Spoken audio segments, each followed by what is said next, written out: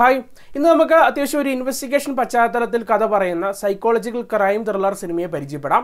ഇതൊരു Christopher Nolan ചിത്രമാണ്. അദ്ദേഹത്തിന്റെ കരിയറിലെ തന്നെ ഒരു മോശം അണ്ടർ ആയിട്ടുള്ള ഒരു ചിത്രം കൂടിയാണ്. എന്തായാലും സിനിമയെപ്പറ്റി ഡീറ്റെയിൽ ആയിട്ട് അറിയുന്നതിന് മുന്നോടിയായിട്ട് ചാനൽ ആദ്യമായിട്ടാണ് കാണുന്നതെങ്കിൽ സബ്സ്ക്രൈബ് ചെയ്യാനും വീഡിയോ കണ്ടിട്ട് ഇഷ്ടപ്പെടുകയാണെങ്കിൽ ലൈക്ക് ചെയ്യാനും ഷെയർ ചെയ്യാനും ഒക്കെ തന്നെ ഒന്ന് ശ്രമിക്കുക.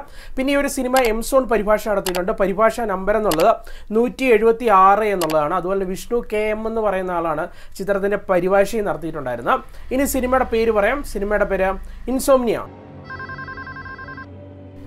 ഇൻസോംനിയ രണ്ടായിരത്തി രണ്ടിൽ പുറത്തിറങ്ങിയിട്ടുണ്ടായിരുന്ന ഈ ഒരു സിനിമയുടെ കഥയിലേക്ക് നോക്കുമ്പോഴത്തേക്കും ഈ സിനിമയുടെ കഥ ആരംഭിക്കുന്നത് തന്നെ ഒരു പെൺകുട്ടിയുടെ മരണത്തെ തുടർന്നാണ് അല്ലെങ്കിൽ ഒരു കൊലപാതകത്തെ തുടർന്നാണ്.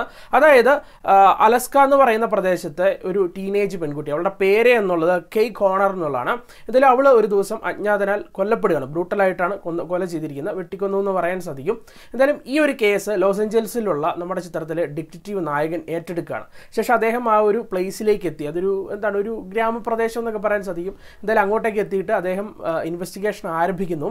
ശേഷം അപ്രതീക്ഷിതമായിട്ട് നടക്കുന്ന സംഭവവികാസങ്ങളുമാണ് ചിത്രത്തിന്റെ പ്രമേയം എന്നുള്ളത്. ചിത്രത്തിന്റെ സ്റ്റോറി ആൻഡ് സ്ക്രീൻ പ്ലേ അത്യാവശ്യം ഒരു ഫ്രഷ്നെസ് ആയിട്ട് നിൽക്കുന്നു എന്നുള്ളത് തന്നെയാണ് ചിത്രത്തിന്റെ ഏറ്റവും വലിയൊരു പ്ലസ് പോയിന്റ് എന്നുള്ളത്. അത് കാണുന്ന പ്രേക്ഷകന് ഒരു സ്ഥിരം ടിപ്പിക്കൽ ടൈപ്പ് ഒരു ഇൻവെസ്റ്റിഗേഷൻ ജോണറിലുള്ള സിനിമയിൽ നിന്ന് നൽകുന്ന എക്സ്പീരിയൻസ് ആയിരിക്കില്ല ഇൻസോമിനിയ നൽകുക. മറിച്ച് ഈ ഒരു സിനിമയുടെ കഥ പറഞ്ഞു പോകുമ്പോഴത്തേക്കും തുടക്കത്തിൽ സ്വാഭാവികമായിട്ടുണ്ടാകുന്ന ആ ഒരു ഇൻവെസ്റ്റിഗേഷൻ രീതിയിൽ തന്നെ ആയിരിക്കും ചിത്രത്തിന്റെ കഥ മുന്നോട്ട് പോവുക. എന്നാൽ പിന്നീട് അങ്ങോട്ട് അപ്രതീക്ഷിതമായിട്ട് നായകന്റെ കഥാപാത്രത്തിൽ ചില ടേണുകളും കാര്യങ്ങളൊക്കെ വെക്കുകയാണ്. അതെന്താണെന്ന് ഞാൻ പറഞ്ഞ് സ്പോയിലറാക്കുന്നില്ല വളരെ ഇൻട്രസ്റ്റിംഗ് ആയിട്ടുള്ള ഒരു സംഭവം തന്നെയായിരിക്കും.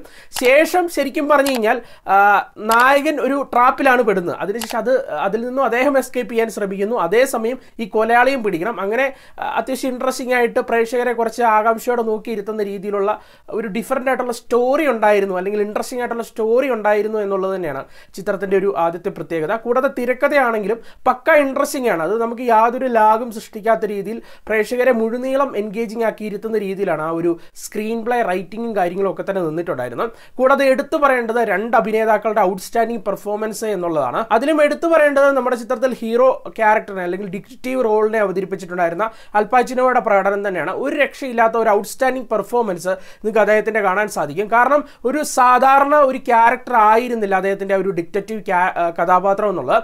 എന്തുകൊണ്ടെന്ന് വെച്ച് കഴിഞ്ഞാൽ കേവലം ഇൻവെസ്റ്റിഗേഷൻ നടത്തി മാത്രം പോകേണ്ട ഒരു കഥാപാത്രമല്ല. മറിച്ച് അദ്ദേഹത്തിന്റെ കഥാപാത്രം ഈ ഒരു സിനിമയിലൂടെ ട്രാവൽ ചെയ്യുമ്പോൾ അദ്ദേഹത്തിന്റെ ഉള്ളിൽ വിഷമങ്ങളുണ്ട് ചില അവസ്ഥകളുണ്ട്. അത് ഉറക്കമില്ലായ്മ തുടങ്ങിയ കാര്യങ്ങളൊക്കെ ഉണ്ടല്ലോ. അതൊക്കെ ഈ കഥാപാത്രത്തിലുണ്ട്. അങ്ങനെ കുറേ സ്വഭാവ സവിശേഷതകളുള്ള ഒരു ക്യാരക്ടറാണ്. കൂടാതെ ഞാൻ പറഞ്ഞില്ല ഒരു ട്രാപ്പിലും പാവം പെട്ടുപോവാണ് അങ്ങനെ ആ, ഒരുപാട് മാനസിക സംഘർഷങ്ങളുള്ള ഒരു ക്യാരക്ടറായിട്ടാണ് ഇതിൽ അവതരിപ്പിച്ചിട്ടുള്ളത് അദ്ദേഹത്തിന്റെ ആ ഒരു ക്യാരക്ടറിനെ. വളരെ കൺവീൻസിങ് ആകുന്ന രീതിയിൽ തന്നെ അദ്ദേഹം ആ ഒരു ക്യാരക്ടറിനെ കൈകാര്യം ചെയ്തിട്ടുണ്ടായിരുന്നു. കൂടാതെ ഇതിനകത്ത് നെഗറ്റീവ് ഷെയ്ഡ് ക്യാരക്ടറിനെ അവതരിപ്പിച്ചിട്ടുണ്ടായിരുന്ന റോബിൻ വില്യംസ് ആണ് അദ്ദേഹത്തിന്റെ പ്രകടനം എടുത്തു പറയണം കേട്ടോ. ഈ രണ്ടുപേരുടെ പ്രകടനം കണ്ടുകൊണ്ടിരിക്കാൻ തന്നെ സിനിമ നല്ല രസമാണ്. അത് തന്നെയാണ് വസ്തുത എന്നുള്ളതും.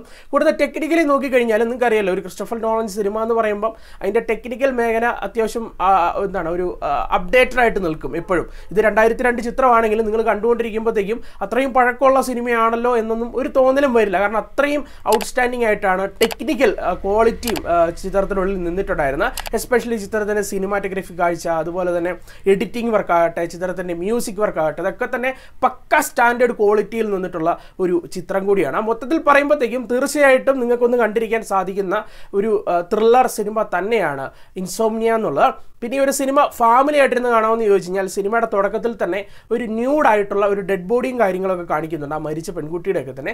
സോ നിങ്ങൾ മെച്ചുവർഡ് ആയിട്ടുള്ളവരിന്ന് കാണാനും കൂടി ശ്രമിക്കുക. ഈ സിനിമ എനിക്ക് തോന്നുന്നു അത്യാവശ്യം ഇൻവെസ്റ്റിഗേഷൻ ത്രില്ലർ സിനിമകൾ ഇഷ്ടപ്പെടുന്നവർക്കും അതുപോലെ ക്രൈം ത്രില്ലർ സിനിമകൾ ഇഷ്ടപ്പെടുന്നവർക്കും അതുപോലെ തന്നെ സൈക്കോളജിക്കൽ ത്രില്ലർ സിനിമ ഇഷ്ടപ്പെടുന്നവർക്കൊക്കെ തന്നെ ഒന്ന് കണ്ടിരിക്കാൻ സാധിക്കുന്ന ടൈപ്പ് ഒരു ചിത്രം തന്നെയാണ്. എന്തായാലും ഈ ഒരു സിനിമയ്ക്ക് ഏറ്റവും കുറഞ്ഞ ഒരു സെവൻ ഔട്ട് ഓഫ് ടെൻ ആണ് നൽകുന്ന പത്തിലേഴ് തീർച്ചയായിട്ടും കണ്ടിട്ട് നിങ്ങളുടെ അഭിപ്രായങ്ങളൊന്ന് പങ്കുവച്ചേക്കുക. അപ്പോൾ നമുക്ക് മറ്റൊരു സിനിമയുടെ വിശേഷമായിട്ട് വീണ്ടും കാണാം.